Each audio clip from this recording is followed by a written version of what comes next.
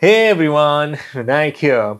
With the release of Valve's Steam Deck, handheld gaming seems to have gained some traction even though brands like GPD and Ayaneo already existed.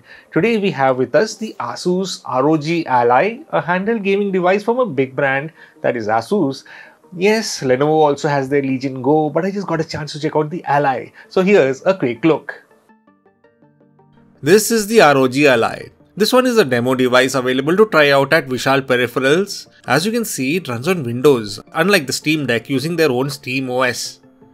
CPU side, it's a custom AMD Ryzen Z1 Extreme, and the Ally's processor has more performance on paper as compared to the Steam Deck's AMD Aerith. We have RGB elements on the two thumbsticks and we find a direction pad, two custom buttons on the left and on the right.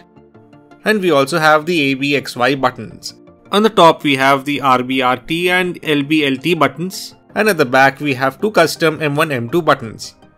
The ROG Ally runs on Windows 11 so you have the freedom to install all the games from Steam, Epic, GOG and also sideload them. After all, it's a tiny Windows PC. The box comes with a ROG branded stand which is temporary at best but if you don't have a dock, this is better than nothing. The screen is 7 inches with a resolution of 1920 by 1080 and it has a refresh rate of 120 Hz. The refresh rate is variable and can vary between 48 to 120 Hz. It supports 8-bit color with full sRGB coverage with peak brightness of 500 nits. 7 milliseconds of response time which is nice. Color performance is quite good too. We have two front speakers, one on each side near where you would grip and it provides stereo separation. There is a Dolby Atmos app pre-installed which can help widen the sound stage. Microphones are available on the Ally and they can be used for in-game voice chat. I have here the Z1 Extreme model which has an 8-core 16-thread CPU and a GPU with 12 compute units with 16GB of 6400MHz LPDDR5 memory and 512GB Gen 4 NVMe M.2 SSD storage. If you want more space for your games, use a microSD card. As it is with the Steam Deck, we can also replace the internal storage of the ROG Ally, which is a 2230 M.2 SSD. Asus also provides a guide on how on their website. Weight wise, it's only 608 grams, which is very light as compared to the Steam Deck 669 grams. The Ally has a dual fan cooling system, and boy, does it get hot when gaming for too long. These vents at the back with the ROG symbol allows for air in but looks to be quite restrictive.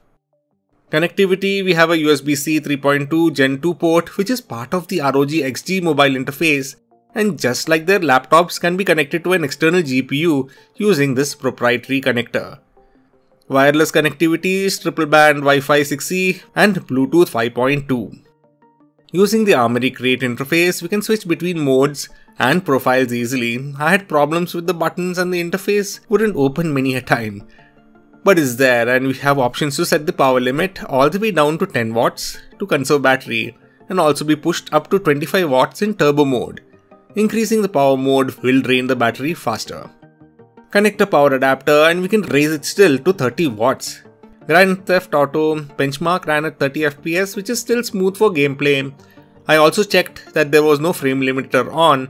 Spider-Man ran at around 30 FPS too and there was no stuttering. The power button is also a fingerprint scanner.